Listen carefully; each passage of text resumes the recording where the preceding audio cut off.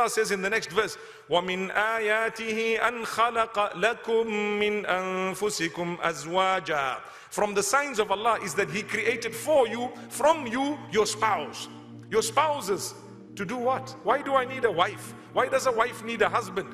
لِتَسْكُنُوا إِلَيْهَا وَجَعَلَ بَيْنَكُم مَّوَدَّةً وَرَحْمَةً if you are genuine and you are truthful, Allah will create between the two of you two things, mawadda and rahmah. That means love and mercy. You love your spouse and you are merciful towards your spouse and your family members. That was created by Allah. It's a sign of Allah subhanahu wa ta'ala. You are married. There should be a sense of possessiveness. If you lack that possessiveness, it is a sickness. Some people come and say, you know, my husband is a little bit too possessive. Well, that's a good sign. But let that possessiveness not become a burden because then it might become a problem. However, it is good to be possessive. We are all possessive over our things.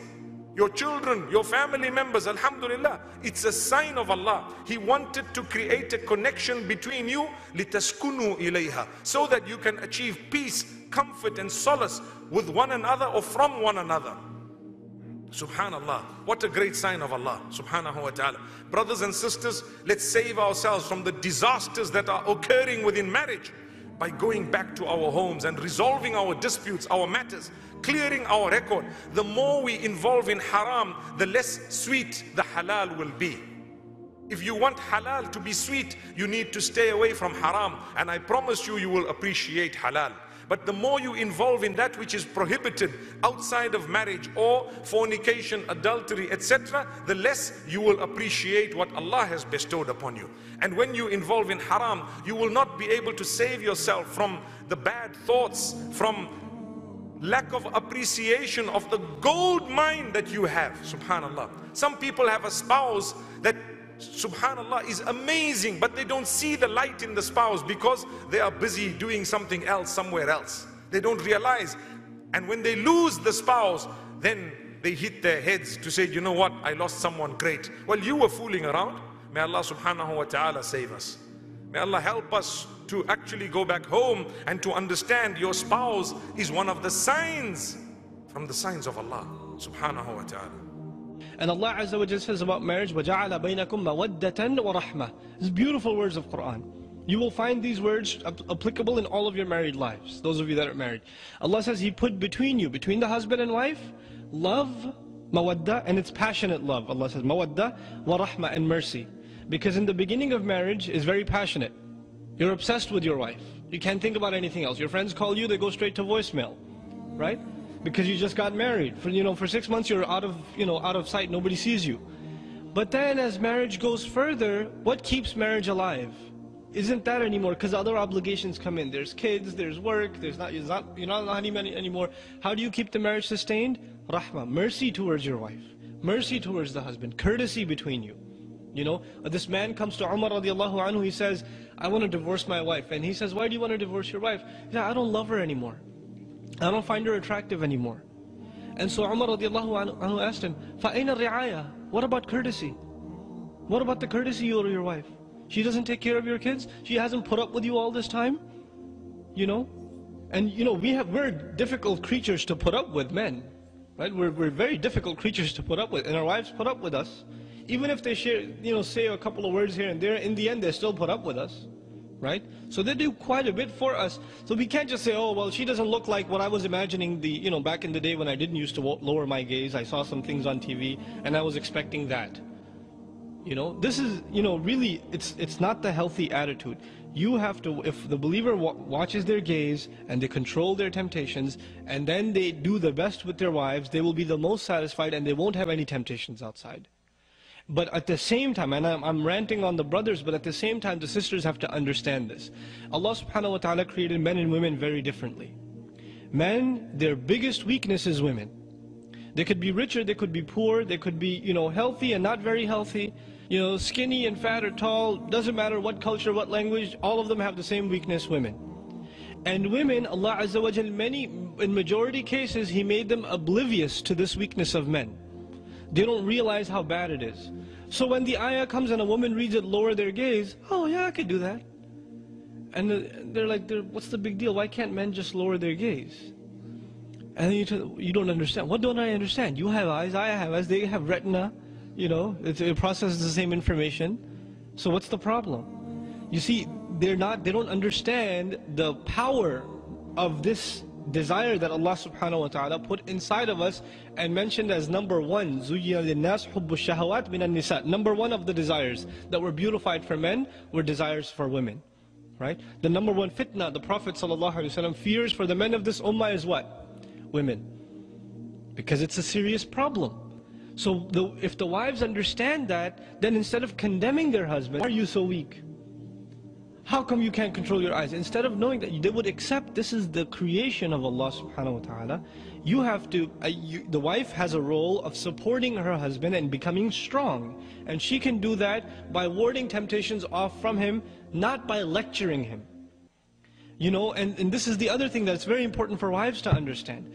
The husband, he goes to the office, or he goes to the train, and there are women horribly dressed, they're sitting there smiling at everybody, trying to, you know, basically this is all these women have in terms of their dignity. They're not respected for their intellect, they're not respected for their opinions, so all they think is we're going to be respected if men see more of our, you know, our shame. So they, they dress in indecent fashion because when men look at them, they feel kind of, you know, self-respect, like I'm worth something, people are looking at me. That's basically what it is. It's really horrible, it's sad. But then they go to the office and the secretary's smiling at you saying, how are you? How was your day? You know, what are you getting for lunch? Oh, you're fasting. Oh, that's nice. You know, and they're, they're smiling at you. And then you go, you know, on every ad, women are smiling at you. And then you get home. And you open the door and the wife said, where were you? Oh, the, the, the, the train, the train was late. Oh, every day the train is late. Oh, I understand. You know, and there's a frown every day. And the first day it's okay, the second day it's okay. 10 years of this, 12 years of this, what's going to happen? The husband has resentment towards the wife, even if he doesn't say anything. He's building resentment inside. And the simple, simple solution of the Messenger, وسلم, a smile of the wife when the, the husband comes home. You know how big a deal this is? This is not a small thing. It stabs the husband when the husband comes home and the wife doesn't care. And you know, he's very disturbed by that. He may not say something, but it really, really hurts husbands. And it hurts the relationship. And it comes out in weird ways. Now that they're hurt, they're kind of upset as they're having dinner. Oh, there's not enough salt in here. You know, there's something wrong.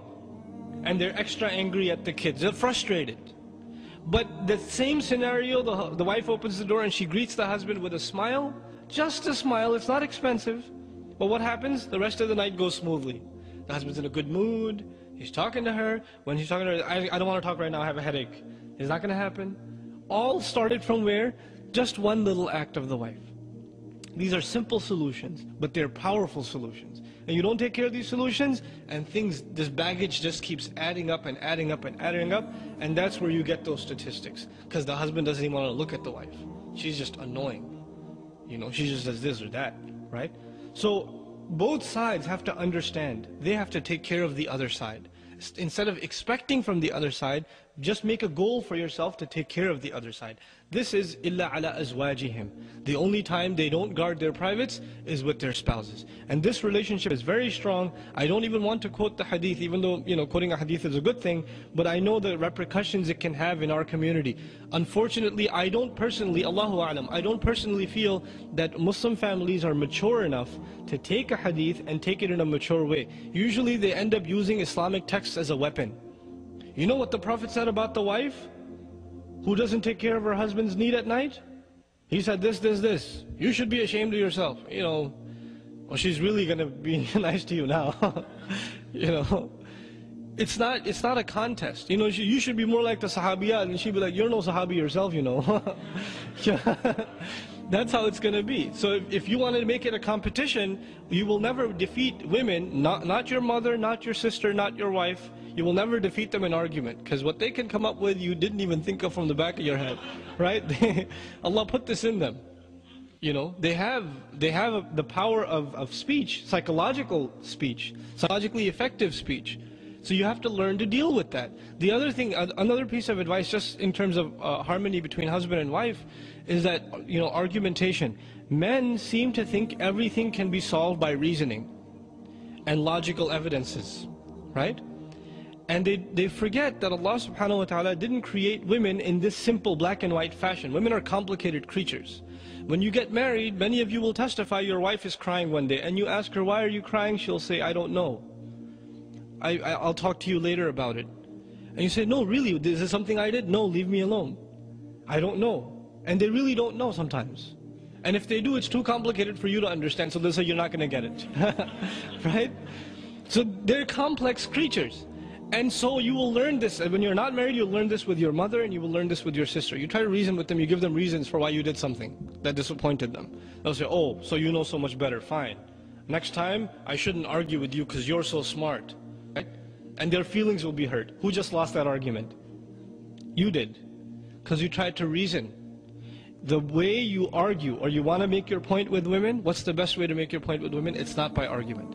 The, West, the best way to make a point with your wife, to make a point with your mother, is actually the sunnah of the Messenger wasallam. One mercy, second silence. Silence. You know how effective silence is for good believing wives? If the husband is silent, then she will say, what's the matter? Is there something I did? But if the husband talks back, man, she will talk back way better than you can. Right? She will come back with a better rebound than you ever thought it possible. But if you're silent, and if there's an ounce of good in her, goodness in her, she will come and say, maybe even if I don't think it was my fault, it was my fault, I'm sorry. But the husband has to learn this technique of silence. And not silence with a frown and pushing her away. Just a little extra sad puppy face here and there. You know, try it with your mom, see if it works. And it will work with your wives also, inshallah ta'ala. Right? But this is important. These are the etiquette of marriage. The Messenger, alayhi he could yell at his spouses. He could say the harsh things to them. He doesn't. Because you know the, the relationship is so fragile, this relationship.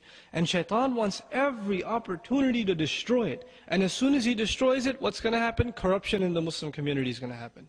That's what's going to happen. Men are going to be not guarding their eyes anymore. And other things are going to happen. Scandals are going to spread. This is how they spread. From bad marriages all the great tragedies that happen in the Muslim community that people don't even want to talk about because they sound so disgusting, where did they start? They start from a husband not taking, taking care of the wife and a wife not taking care of the husband. So this is, this is at the heart of being a believer and sustaining our iman. Taking care of the wife and taking, taking care of the husband. May Allah subhanahu wa ta'ala make us the best husbands and grant us the best wives.